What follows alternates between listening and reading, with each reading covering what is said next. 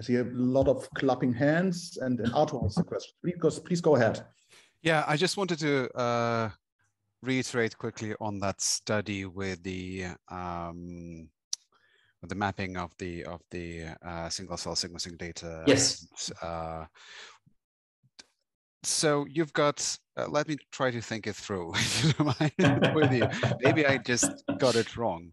So you've got mild cases. Uh, you've got severe cases. You've got uh, you've got uh, uninfected people, healthy people. Uh, yes, and let's go You're trying to uh, so your ideal scenario of of the clustering yes is when all cell types map to to the specific cell uh, when all the clusters map to specific cell types why right. would you expect not to have a population or subpopulations with different expressions of immune cells let's say for example, between the groups uh, of mild and severe, and uh, within the patients themselves. Surely, there could the way the immune system works, it works with clones uh, of cells, so they could easily have within the same cell type different patterns of expression. So, could you maybe absolutely that? Yes, yeah, yeah, absolutely. So there are two things. So first of all, uh, sorry if I'm going back and forth.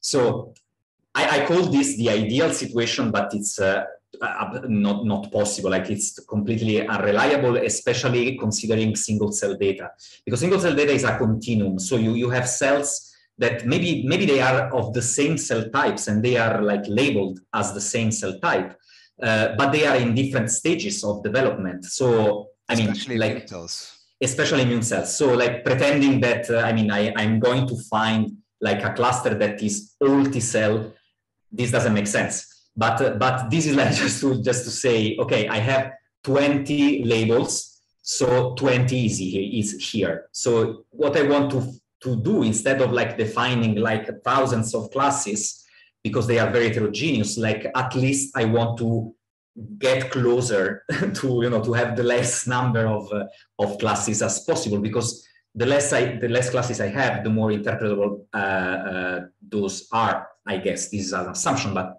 Mm, maybe um, maybe also like you know the extreme case of uh, you know thousands of uh, different heterogeneous classes is um, interesting as well. Um, so this, this is about you know this this is about this line uh, down here. And then uh, about the, uh, like for instance, imagine that I find here that the, the cells that are more discriminative between uh, uh, severe and mild, for instance, are, are epithelial cells of a certain class. Now, those, this doesn't mean that those are all the epithelial cells that I find in the experiment. This is a subset of epithelial cells. You know, then there will be other epithelial cells that, uh, that, that, that are not so discriminative.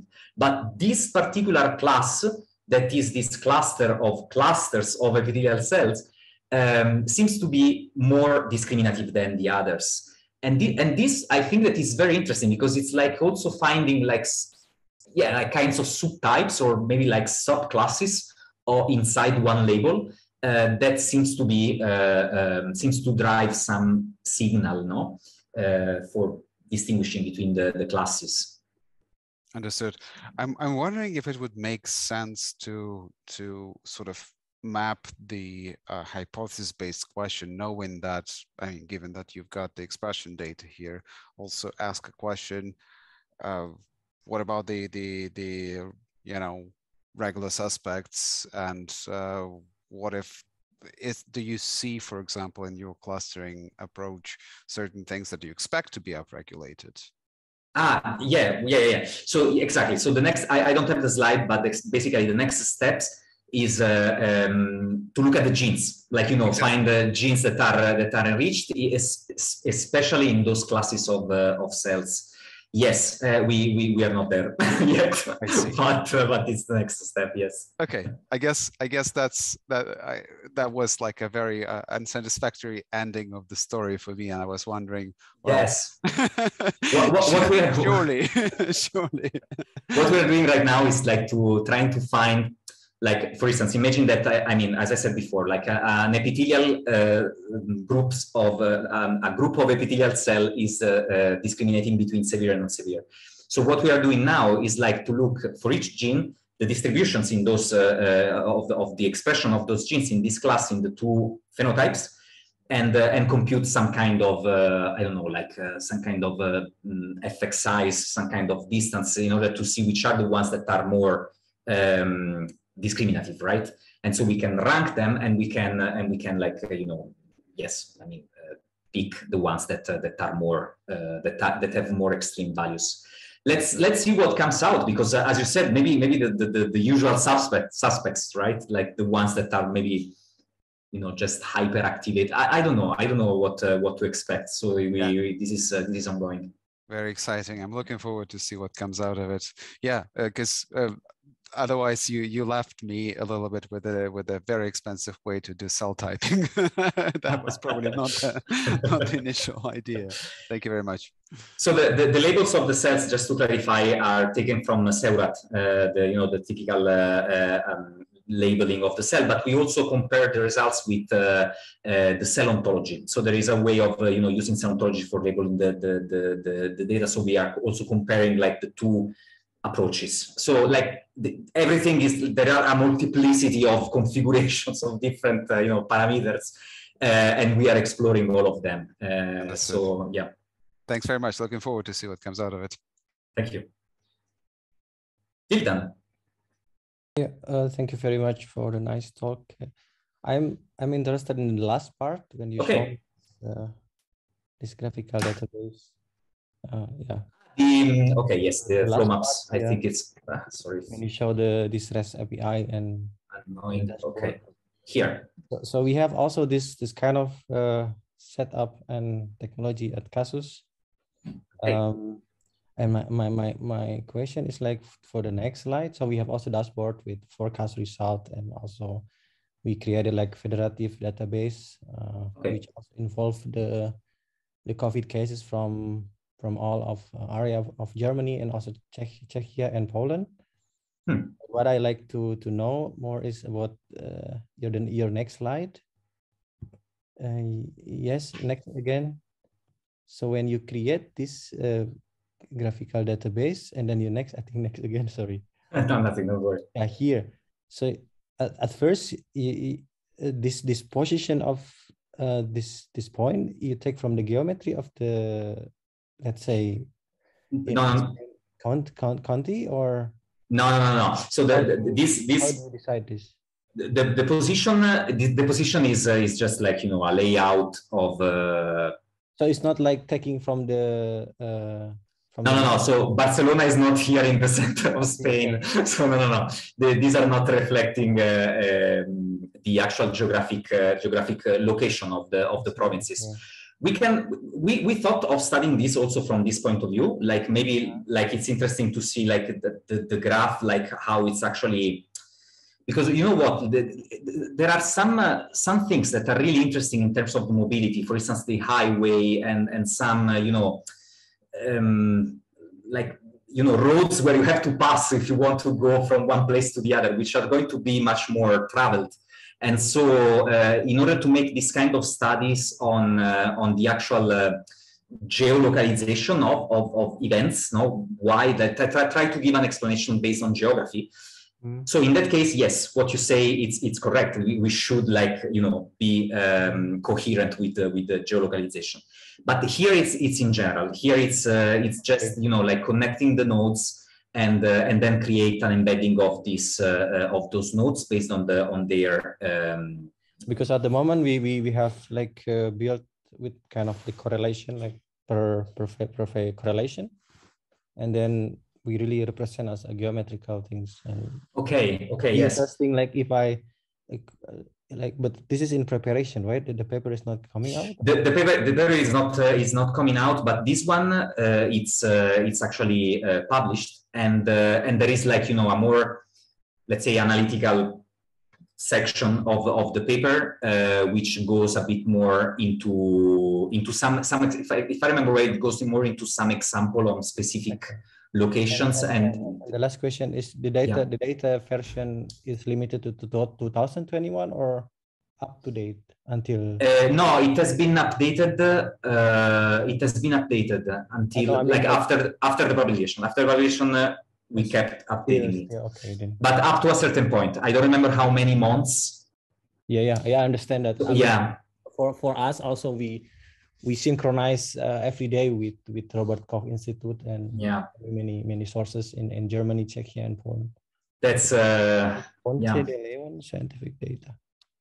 I'll write it. Sorry. Yeah, sure, sure. I can send you the the you know the references. Could you could you write in the text? Yeah, sure.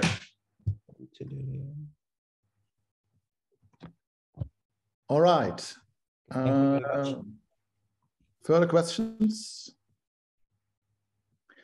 If not, I have a few questions and comments. So, so first of all, of course, I, I strongly encourage everybody to to reach out to Davide whenever he yes. or she uh, has any interesting overlap, and I guess there are a lot. Uh, one comment uh, thereby is also related to to Janina, and I mean what what I saw from from methodology point of view is that of course a lot of hyperparameter or parameter searches. Hmm are, are somehow needed, right, to make the right analysis for getting the right communities or for getting the right parameters, which then yeah. cluster best and things like that. Yeah.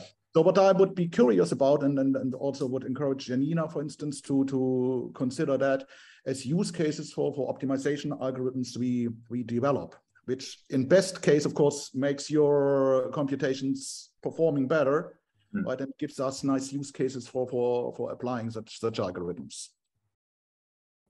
So, I mean, very interesting. Yeah. Also, Davide, thank you for your talk. It was very good, very interesting. Yeah. But, but for, for this specific uh, issue, let's say we, we may schedule a, a separate meeting on that. That would be very interesting to, to just look where are, let's say, instances uh, which are reachable by, by, by the algorithms, especially Janina develops, and how mm. we may can do this together. This would be nice. So this is the one comment I have more or less. The other comment I would, would ask is, so as you as you showed also in the uh, these community things with the uh, yes. increasing uh, uh resolution. Resolution, yeah. So, so this is somehow a similar concept uh, uh, to to so-called persistent homology. I, I, don't know whether you use it or know it or, or somehow apply it somewhere. Yes, no, I, I, we haven't applied, but I have uh, you know some some knowledge about that. I, I, know what is uh, what what we are referring to, but it's uh, it's it's correct, right? It's kind of yeah, it's true. There is actually a, a very it's it's somehow a, a measure of connectivity in a certain sense, and then yeah. it, on a topological structure which preserves if you increase or decrease resolution depending on how you yeah. set it up. And um, okay, which I mean, which, which uh, it's it, it's true, and it uh, it would would also make like more general uh, all this uh, all this approach because now I'm talking about resolution and I'm talking about modularity because this is the, the, the function that is used in the Louvain algorithm. Basically, what we are doing is a multi-layer network um, version of the Louvain algorithm, and and the, the Louvain algorithm has this parameter. So this is why we are using uh, resolution and then we observe this phenomenon. But you are right, like uh, the, same thing can be thought in terms of uh, in terms of uh, uh, exactly like uh, mm, persistent homology. And, and maybe this can be can be explored. I don't know how much can can it can be done in terms of like multi-layer network persistence, you know, something like that. I have a little little question for for maybe, the, the, as you showed the, the mammoth, which you wanted then to to yes. um, compress to to do two D. Do you have also higher dimensional data sets like that, where you not only from 3D to 2D, but um, I mean, so so you can you can of course nicely embed any graph into 3D, and then yeah, so huh. at least a graph without edge cutting uh, crossings and things like that. So uh, my question is just because so Chetan, uh, who's in the, in the lab, exactly uh, plays around with these autoencoder re-embeddings and topological okay. analysis of that. Yep. And um, so it would be interesting to have some some some cases there where we may may compare to how they are called UMAP and all the other other. Yes, yes, yes. Those are okay. Yeah, yeah, sure. So this I, I will put in the in the chat also this uh, this reference. It's it's really nice because they so th there is this PaCMAP uh, uh, approach, and uh, this is from uh, Cynthia Rudin. She works in um, she works in uh, Duke uh, University, and and I mean, yeah. She, okay. She, and uh, so, paper so here, right? Yes. The paper, like, the paper is here, and they compare, you know, their method with all the others, and okay. um, so we, which can be interesting for you, like to have, you know, this kind of benchmark, you know, to a methodological benchmark for for your for your um, um, approaches. But uh, I think that it's uh, in terms of use case, like in terms of data, uh, yes, of course, we have like a lot of networks, multi-layer networks that we can embed somehow in uh, in uh, in different dimensions, and and then we have like molecular data, like this can be this uh, single cell data sets, it can be other type of data sets. Um, we use, yeah, I mean, we, we have a lot of data that we can uh, that we can really use for for these purposes. Um, even even biometric data. For instance, we we are working a lot uh, uh, right now with uh, electrocardiograms, which is you know completely different types of data, but maybe it can be interesting to explore as well. So if you're looking for for data sets and and for like possible use cases, I think that it's uh, uh, I mean we can definitely like use or reuse the data that we have in house. Very good. Okay, so so that uh, satisfies me. I hope you enjoyed for for presenting, and and uh, thanks a lot for for dropping by. And um, of course, I hope we we, we continue and and and uh, looking forward to to go further on on some of the projects. And, okay. Um, with that, I once again say thanks to Davide and thanks to all the others